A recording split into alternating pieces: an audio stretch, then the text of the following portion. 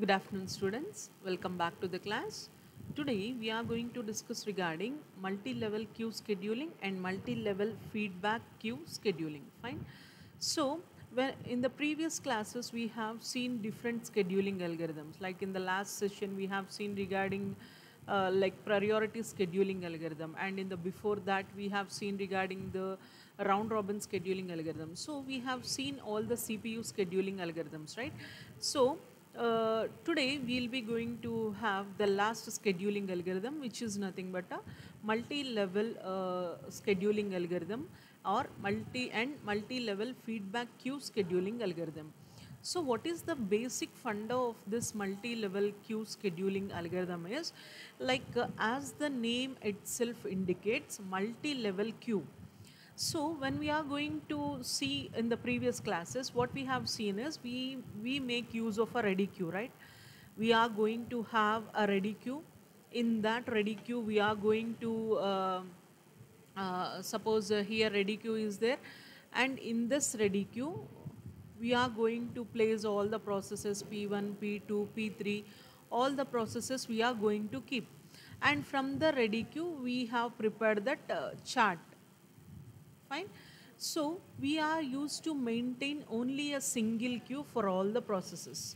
So how much is it fair to make the processes all reside in a single queue?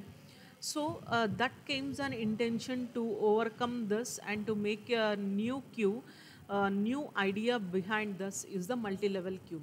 So what is the basic funda of this multi-level queue is like instead of making a single queue like we are going to make a different queues we are going to make a different queues so that each queue is going to have suppose uh, uh, first one is the system queue system queue is nothing but like uh, uh this is a system queue or system processes uh, we are going to make in the uh, first priority. Why? Because system processes are nothing but like when the CPU is executing a task, suppose uh, CPU is executing some process P8, but uh, if a process P1 came, or sorry, if an interrupt came, interrupt came to the CPU and this what this interrupt told is like it uh, uh, it is used to say that process P1 to execute. So what the CPU will do is it terminates the process P8 and it will current now executes the process P1. So we are going a much importance to the interrupt. So those kind of uh, processes all we are going to keep in the system processes. System processes are going to have the highest priority. So instead of uh, like what is the basic fundamental of this multi-level queue is nothing but instead of maintaining a single queue, instead of maintaining a single queue that is ready queue in the previous all the algorithms we have make use of ready queues only but instead of maintaining only a ready queue that ready queue has been divided into different queues. So based on the priority uh, those queues have been uh, scheduled uh, based on the priority those queues have been designed. Uh, so here where each class has its own scheduling needs. Suppose uh, uh, this is the example of multi-queue. Previously we used to have the ready queue.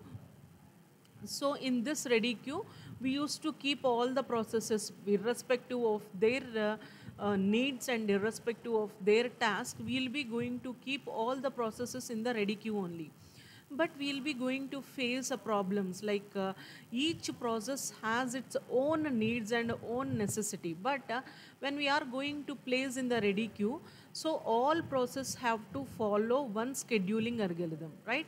So when it when we are going uh, it is depends on the implementer. The implementer who is going to implement this one. Like uh, what are all the process we are having in the ready queue? It may be a priority or it may be a round robin it may be a sjf or it may be a fcfs either one of the scheduling algorithm we need to implement on the processes which are there in the queue.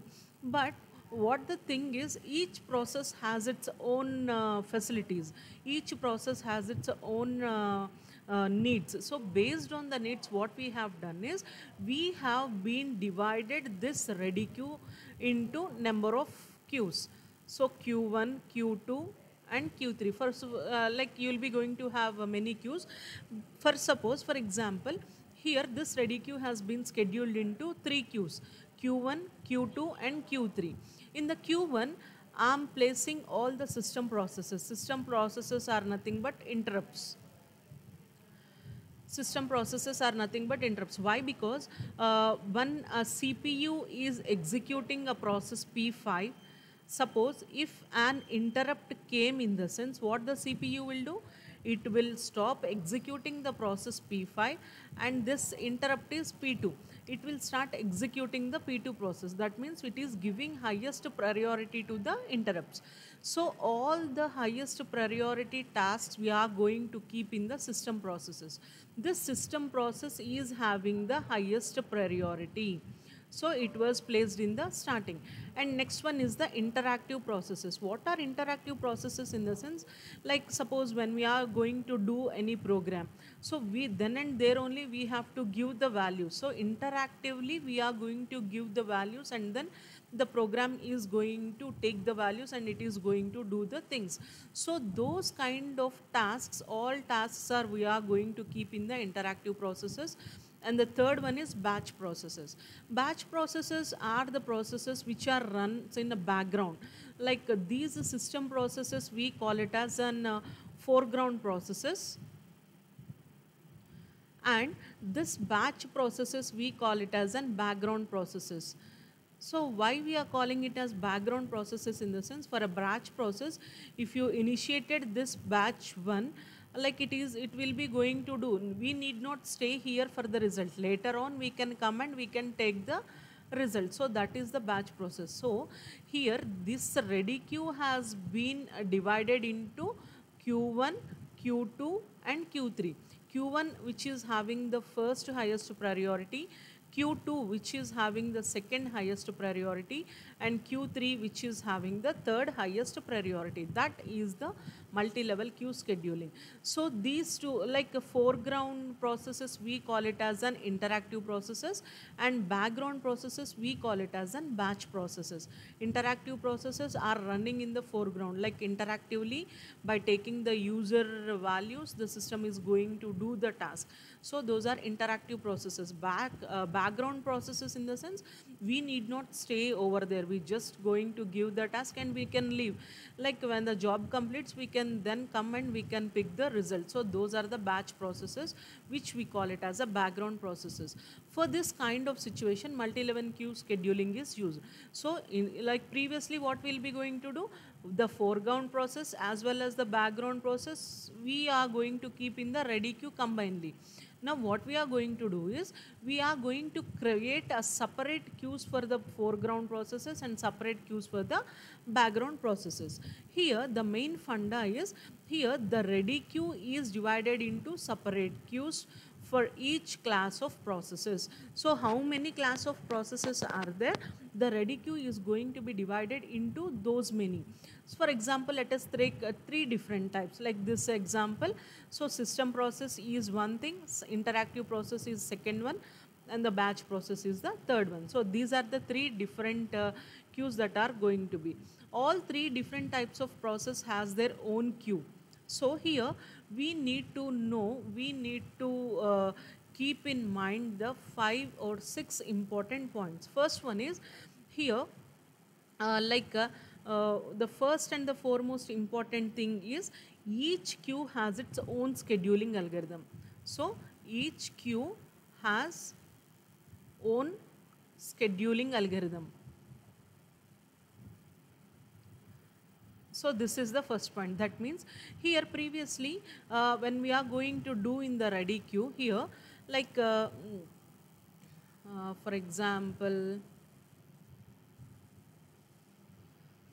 see here so previously this is the ready queue so this ready queue will be going to keep uh, uh, process P1, process P2, process P3 and so on. So this is the ready queue, fine. So here we have to implement only one algorithm at a time, one scheduling algorithm. We can't implement two algorithms at a time, only one scheduling algorithm uh, we need to implement, fine. So instead of doing this, so based on our condition, what we have done is we have divided that ready queue into number of queues. Fine, this is Q1, this is Q2 and this is Q3. So this Q1, this is Q2 and this is Q3. So here we used to apply some FCFS in the sense so all P1 process, P2 process, P3 process all will follow the FCFS scheduling algorithm only. Here the first important point is each queue can maintain, each queue can follow uh, different algorithms. So that is the one of the major important thing we have to know. Here what uh, what uh, this uh, one is here is here are the system processes. Here are the interactive processes and here are the batch processes fine. So system process is having the first priority. This interactive process is having the second priority and this batch process is having the third priority. Fine. Here what I, what, what I have said is each process or each queue can have its own scheduling algorithm. So here uh, this uh, uh, first system system process can uh, go for round robin scheduling and second queue can go for shortest job scheduling and third queue can go for FCFS batch process can go for FCFS scheduling. So based on the needs of the processes, so each queue can have its own scheduling algorithms. So this is the first important point to be no noted down. And the second one is uh, this all three, these all three queues follow the priority. All three queues follow the priority. These three queues follow priority. Follow priority in the sense among the among these three queues which is having highest priority that is going to be placed first which is having the second highest priority that is going to be placed second which is having the third priority that is going to be placed third. So all the queues which are which we are going to arrange those queues are also going to be arranged in a priority based manner. And the next third important is uh, suppose uh,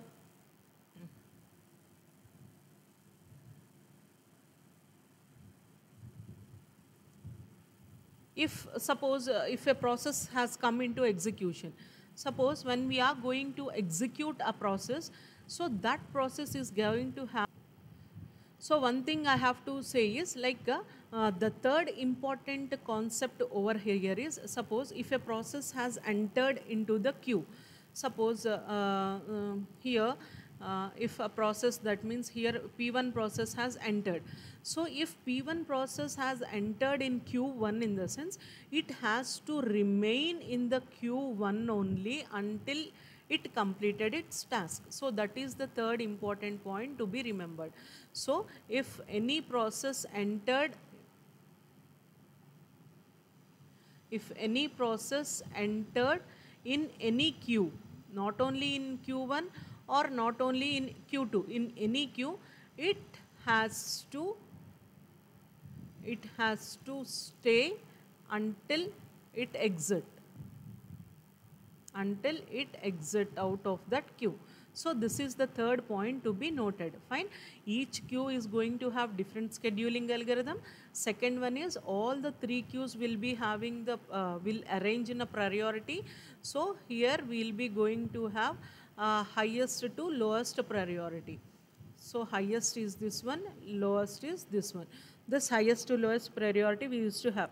And if a process we are going to keep any process in any queue in the sense that process should remain in that queue until it is going to exit out of the system. So that is the thing we will be going to uh, we'll be going to have when we are going to see the multi-process queue scheduling. And next one, the fourth process is suppose uh, here the fourth point what I can uh, say you is uh, for suppose uh, mm, here in the Q1 uh, process P1 process P2, process P3 and process P4 are there. And in Q2, process P5 and process P6 are there. Uh, and process P7 are there. Here Q3, process P8 and process P9 are there. Fine. So when uh, now uh, here when we are going to discuss now the CPU is executing currently the process P7 fine CPU is currently executing process P7 uh, for suppose all these processes in the queue has completed fine. And one more point to be noted is uh, here we are going to have uh, different queues. So shifting we can shift from one queue to another queue. When we can shift from one queue to another queue in the sense in q1 p1 p2 p3 p4 processes are there. If all the processes are completed if all the processes are completed then only we can shift from q1 to q2 in Q2, we are having P5 and P6 processes. If P5 and P6 process are completed, then only we can shift from Q2 to Q3. So, if in the in Q1, if P3 process has not completed, you cannot shift from Q1 to Q2. So, that is the thing you have to uh, make a note of it. Like if you want to, if you want to go to any other uh, second queue. If we want to go to uh, second queue first queue should complete. So all processes in first queue should complete. Then only you can allow it to the second queue. If all process in second queue completed, then only you are going to allow to the third queue. This is the point to be noted. So until unless the processes are not completed, you are not going to uh, shift from one queue to the another queue. So that is the uh, thing you have to note it down. So suppose here uh, when CPU is executing a P9 process, when CPU is executing P9 process. When CPU will execute P9 process, if all the processes in uh, Q1 completes, if all the processes in Q2 completes, then only the CPU will execute the Q3 processes. Now, when CPU is executing the P9 process, it is executing the P9 process in the middle, uh, some process that is, uh, for example, uh, mm, some process which is uh, uh, P10 has admitted in the Q2. P10 process has admitted in the Q2. So, P10 process has admitted in the Q2 when P9 is executing what the CPU will do is it will stop executing this it will stop executing this P9 process and the CPU will be allocated to P10 process. Why? Because this P10 process has has uh, uh, joined in the Q2 why? Because Q2 is having the highest priority than Q3 so when CPU is executing P9 process in Q3 then P10 process has admitted in Q2, then CPU will stop executing this uh, P9 process and will start executing this P10 process. Why? Because P10 process is having the highest priority than the P9 process. So this is how you will be going to have the uh, multi-level queue scheduling. What is the basic and the major funda of this multi-level queue scheduling is here the ready queue has been divided into number of queues based on the task which we want to do. So what uh, uh, when we are going to do with the queues, what you have to remember is each and every queue can implement its own scheduling algorithm. That is the first point and next point is what are how many queues are there all the queues are arranged in uh, higher order to lower order that is the second point. and the third point is if any process is entered in any queue that process should fix in that queue only. If a process, for example, if process P10 has entered in a Q2 in the sense, it has to be in Q2 only until unless it completes its task and it has to exit out. There is no possibility of shifting from Q2 to Q3 or Q3 to, to Q1. So that shifting of queues is not possible, which is the drawback. Fine, these are the things you have to remember when you are going to do with the multi-level scheduling. So when we are uh, going to see this multi-level scheduling, what is the drawback you are going to face is, here is the drawback you will be going to face. So what is the drawback in the sense, suppose as I have said you now, here P9 is executing by the CPU. Then this is in Q3. Then P10 came which is in Q2. Then what is the CPU is shifted from P9 to P10. Fine. Now CPU is shifting from P9 to P10. When CPU is executing Q2 process, another process P11 came which is in Q1. Now what is this CPU will do? CPU will stop executing this P10 and it will comes to the P11 process. Now, what about this process P, P9? It is keep on waiting. Like keep on waiting condition, we call it as an starvation. Keep on waiting, we condition, we call it as a starvation.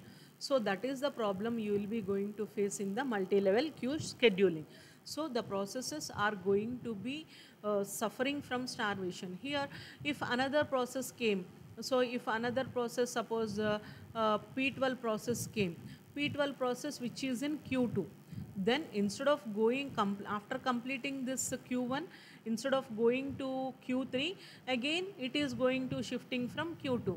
Then what about this P9 process? It is keep on waiting. That keep on waiting condition, we call it as indefinite blocking. Indefinite blocking or we can call it as starvation.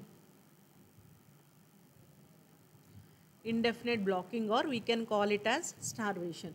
So this is the drawback you will be going to face in the multi-level queue scheduling.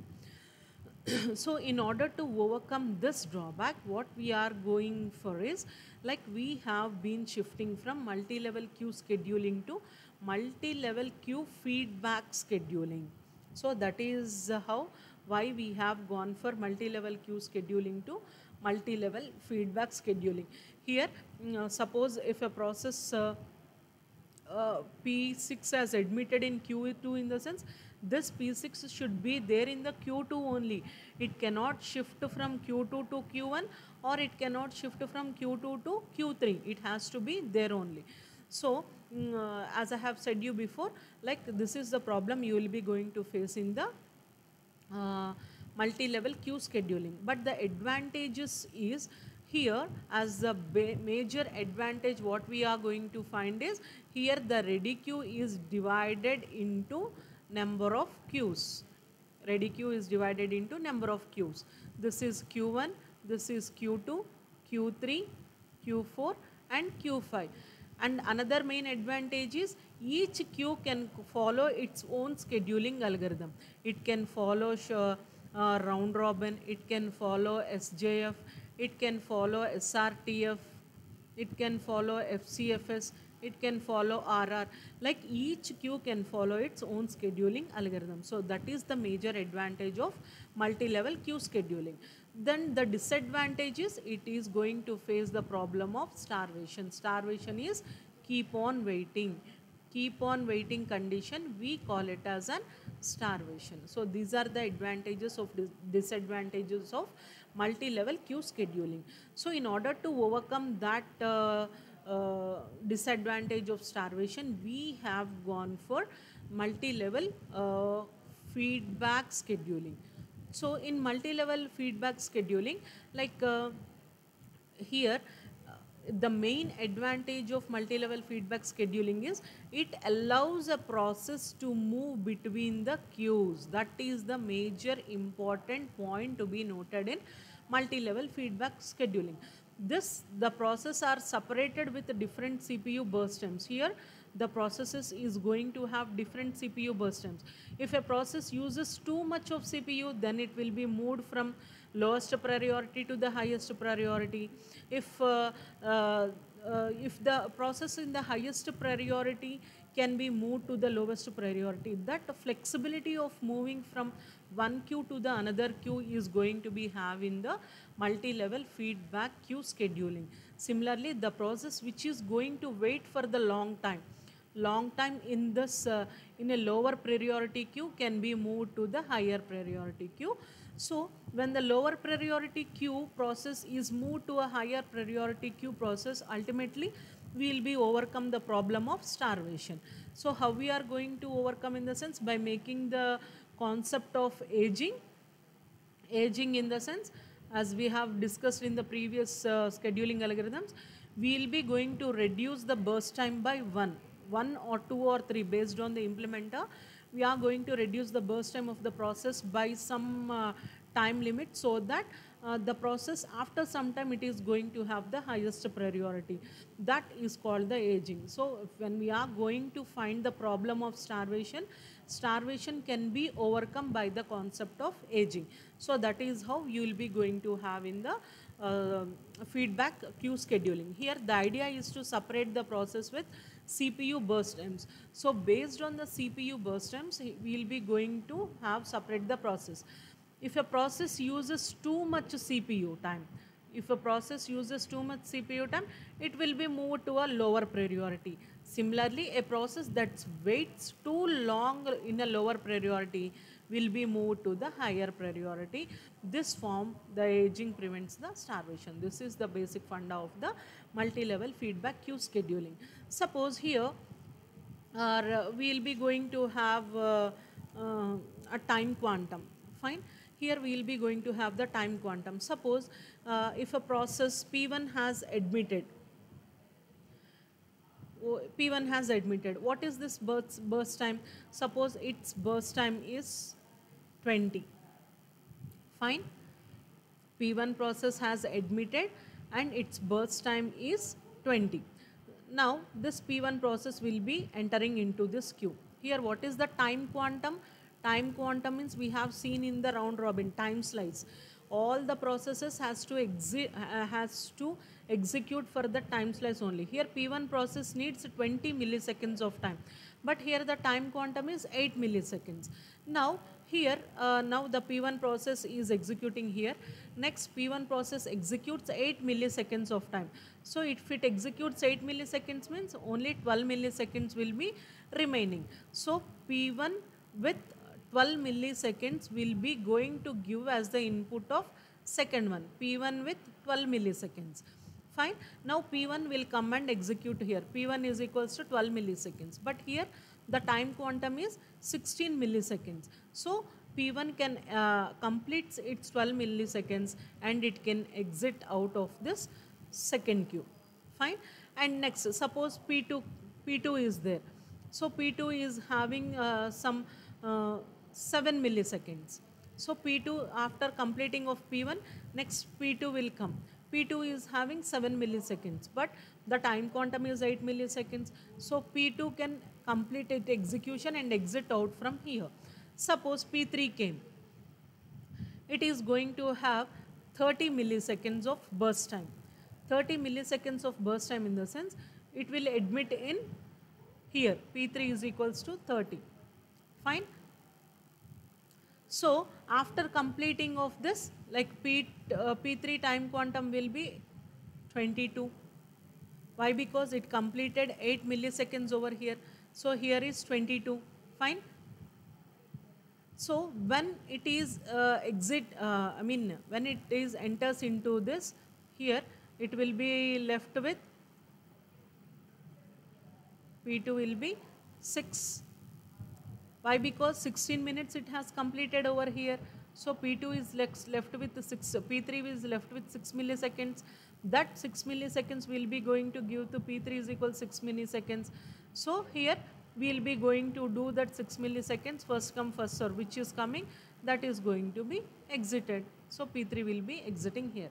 like this if you are going to have uh, different queues here the main thing is uh, any process any process can move from any process can move from one queue to another queue one queue to another queue. Suppose uh, here uh, this this queue is having the highest first highest priority. This queue is having the second highest priority. Suppose a process is admitted here x process is admitted here. But cpu is executing only these processes p1 processes. What it is going to do? We can move these process this x process into first process so that the CPU will execute this X process and it will be exited out of the system. This is how the multi-level feedback queue scheduling is going to be working. Fine. The advantage is scheduling overhead is going to be less. Why? Because any process can move from any any queue to another queue thus allow aging and no starvation. No starvation will be there and no aging will be there. But it is not flexible. It requires some means of selecting values of the parameters to define the best scheduler. Thus it is the most complex thing. Why? Because everything is going to be done by the implementer only. So it is in the hands of the implementer to choose a best practice for the processes which practice is going to be better for a which process. That everything has to be taken care by this implementer only. In this way you will be going to have multi-level schedule queue scheduling and multi-level feedback queue scheduling. So the points to be remember in multi-level queue scheduling is in multi-level queue scheduling here all the processes are uh, uh, going to be dumped in the ready queue previously. But in multi-level queue scheduling, as the name itself indicates, multiple queues we are going to maintain. And those queues are going to be arranged in a priority wise. If any process entered in any queue in the sense, it has to be fixed in that queue until unless it is exit out of that system or any context switch has been done. So that is the major drawback. There is no flexibility of moving a process from lower priority to higher priority or higher priority to lower priority. So based on that concept, what we have done is we have gone for multi-level feedback queue scheduling. The flexibility of feedback queue scheduling is like in the feedback queue scheduling, we'll be going to have an flexibility of uh, moving the processes with lowest priority to the highest priority and highest priority to the lowest priority. So that is the major funda or major difference between the multi-level queue scheduling and the multi-level feedback queue scheduling. With this, uh, all scheduling algorithms we have seen.